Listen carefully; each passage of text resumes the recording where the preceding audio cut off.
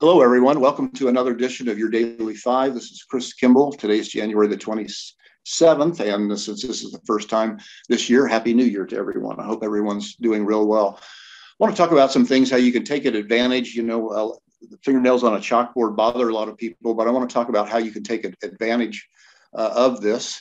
So we're going to talk about a coffee update from uh, prior Daily Five, how uh, fingernail thinking can pay off, what was the outlook for inflation two years ago? We're going to talk about the CRB has gained 110% in 90 weeks, strongest uh, 90 week ever. Now, what crude oil is it about to gush higher?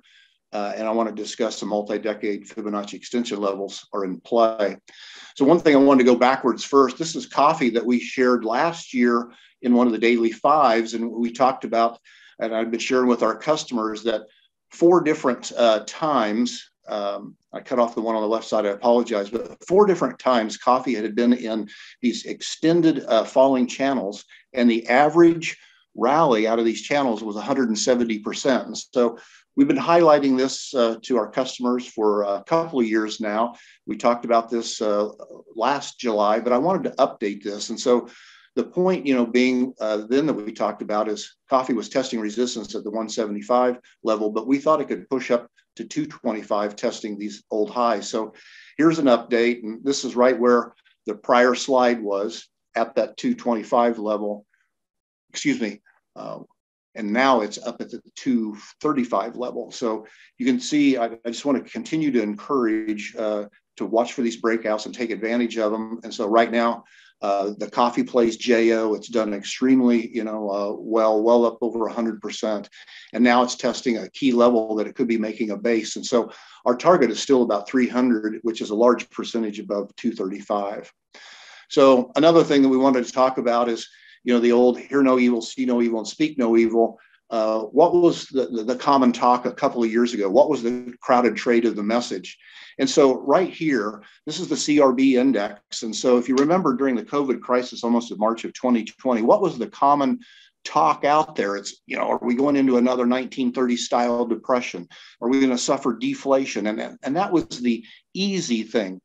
So, one of the things that uh, Sir John Templeton taught me, and, we all know that contrarianism has paid off for many people, but that's why I showed the fingernails on a chalkboard. I, I want everybody to ask at any given time, and I mean this, you ask yourself, like, what's the stupidest thing I could do today? And so, like two years ago, when all of this common talk and the fingernails on the chalkboard, what was the stupidest thing you could do back then? Was bet against the common theme and that inflation was going to just come roaring back and look what it's done. And so, uh, a great chart from you know, stockcharts.com, the availability of doing this. This, this is noisy, and I want to kind of walk through it. The CRB index going back into the 1970s, it's on a weekly basis. And then down below is a 90 week rate of change. And you'll see in this, this piece right here that uh, as of a couple of days ago, the CRB index was up 111% in 90 weeks. And you can see going clear back to the 70s, there's no uh, rally that even compares to what we've seen. And so this was the time when people were convinced two years ago uh, that we were going into a deflationary spiral because things were collapsing and, and now the opposite has happened.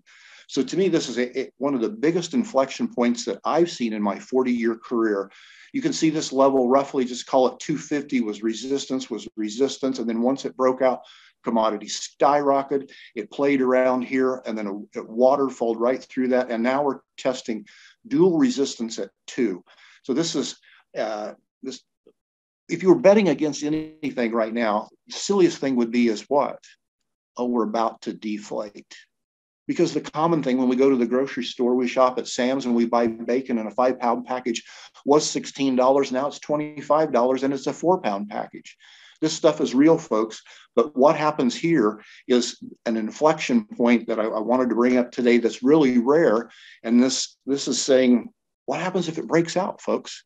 If commodities break out from here, I mean, it could be a rocket ship. So I, I want to make everybody really aware of the 800 pound gorilla in commodities right now. And then what will you do if it happens to break out? And so, one of the key players, I think, in all of this is uh, watching the dollar and the euro. So you can see that the the dollar is up against resistance and the euro is testing support at the same time. dollar succeed, succeeds to the upside, and if the euro would succeed to the downside, I bet that 800 pound resistance level in commodities holds. So don't take your eye off uh, the commodity charts right now. Here's another one in that sector, all important crude oil.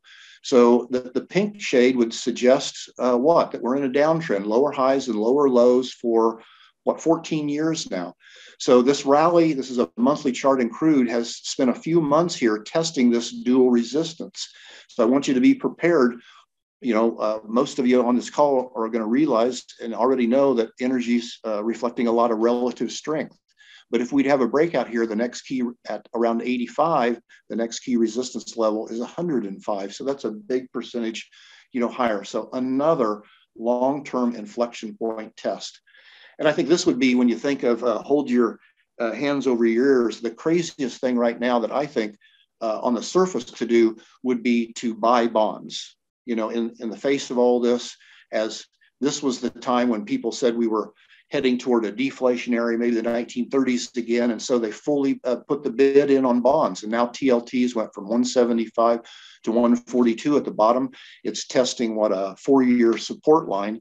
Uh, I have a very small position. I don't have a big dog in this fight, but I, I want to say when I try to think about what seems just really stupid to suggest to people, it'd be to long bonds here. So we'll have to see. And, and obviously, if, if this uh, pennant, multi-year pennant pattern breaks to the downside, um, Chairman Powell, uh, Chairman Powell uh, better get his acting gear on raising some rates.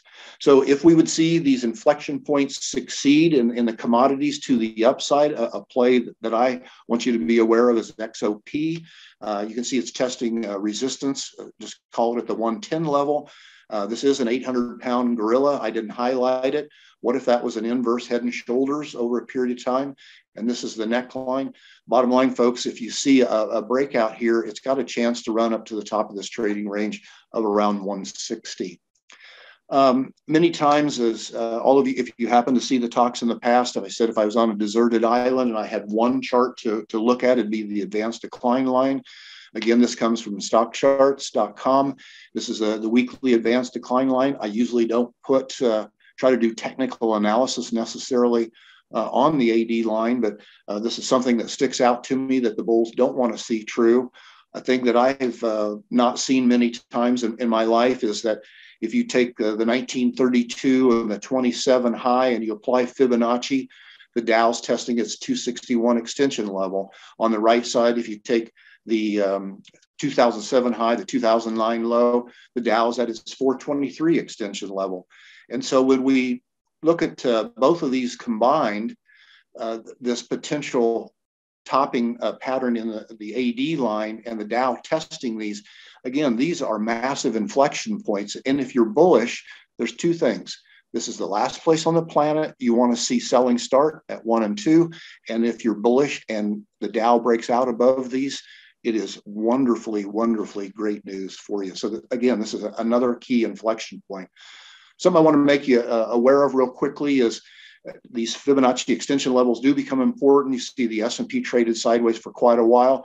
The old adage, uh, it, it, broke out, tested old resistance as support, and then look what happened.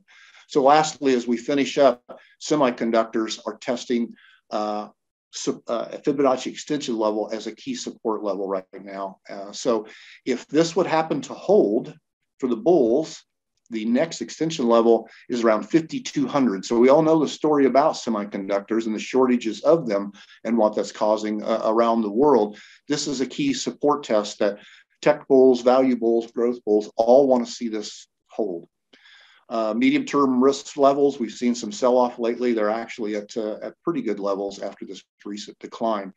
Uh, China uh, market, we know is struggling. You see high yield bonds, they're collapsing. And so uh, one of the last charts of today. This is the Hang Seng Index. This is a 20 year support line. You see this pennant pattern.